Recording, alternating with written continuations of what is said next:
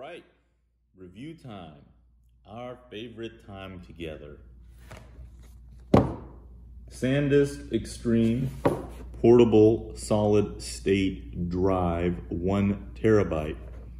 This is a Costco purchase. It is on sale.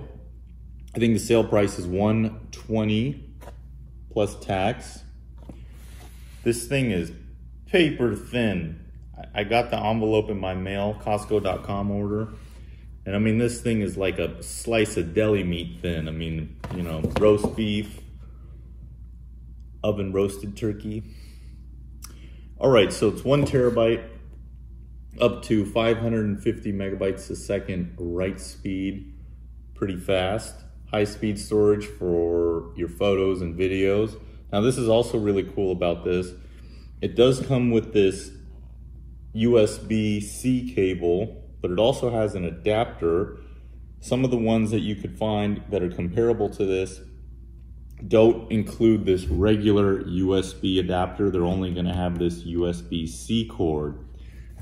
So that's nice that it has that. It also has this uh, carabiner if you are climbing mountains and you need to loop your rope in there, make your life easier. But I think it's super portable, so they include that. You can clip it to your belt. Uh, it's the Extreme series. So it's supposed to withstand dust and water to IP55 uh, and certified to withstand shock from six and a half foot drops. I was reading back here onto concrete.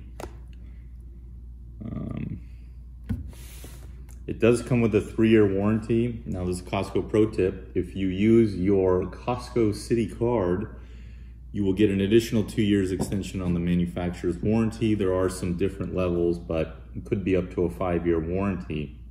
Works for PC and Mac. It operates from zero degrees Celsius to 45 degrees Celsius, which is pretty wide range. There's also this uh, software for Rescue Pro. I guess that's some sort of cloud storage. Waterproof. Three minutes of water flow at 30 kPa. I don't really know what that is, but it sounds like water can be running over it at a, up to that pressure for three minutes. Uh, this read speed, I, I, guess this is read speed, 550 megabytes a second read speed. I'm gonna test it. We'll see what it actually does on uh, my MacBook. But that's fast, that's faster than some of the other ones.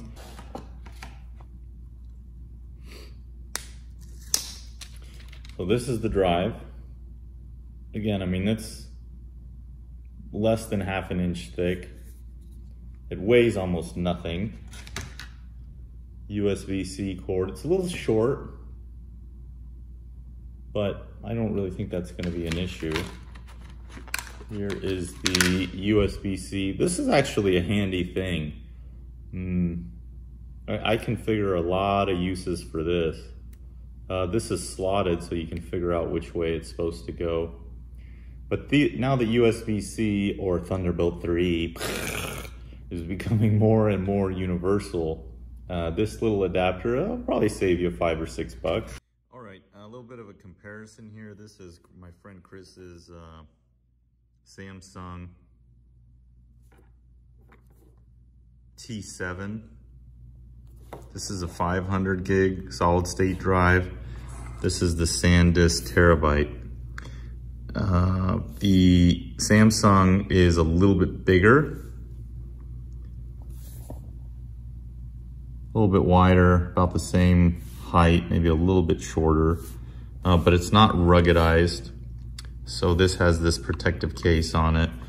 Uh, Width-wise, they are about, about the same. I mean, maybe a 16th of an inch wider on the SanDisk. So I just plugged in the SanDisk first time into my MacBook Pro. This is a 2015 or 16 MacBook Pro. And I don't have any USB-C slots. I have Thunderbolt 2.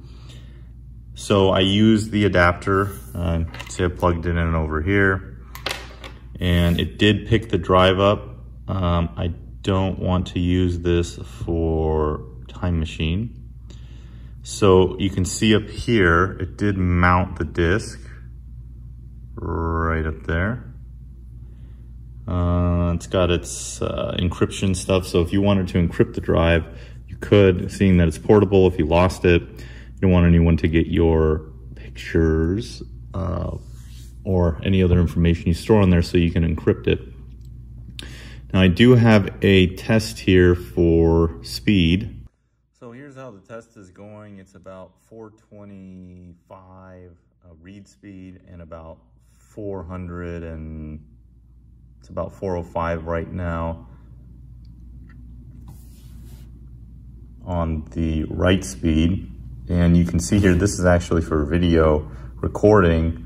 Um, it's going to be able to do ProRes. Everything's green there. These tests down here take a little bit longer to get through. Also, if you look on the right here, how fast, you can see that the, some of the read and writes are really, really fast. So my ports are USB 3.0.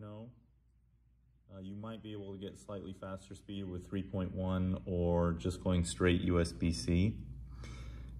All write, so now I'm gonna try just to show you a comparison and do a speed test on the Samsung T7. So far it's comparable. The Samsung is slightly slower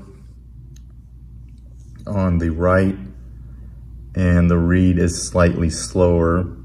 Uh, these Samsung drives are more expensive than the SanDisk drives. Uh, the one terabyte, I think it was like $40 more. And one of the issues is, from what I saw, you do not get the Samsung drive with the USB-A or regular USB. And uh, when solid state started to come out, I've been trying to get them, but I don't want to spend an arm and a leg. And with this deal, finally got into a solid state drive. And if there's any issues, I'll do a long-term review, but these are things are usually pretty solid. So thanks for watching. Please uh, like and subscribe if you would like to see more reviews.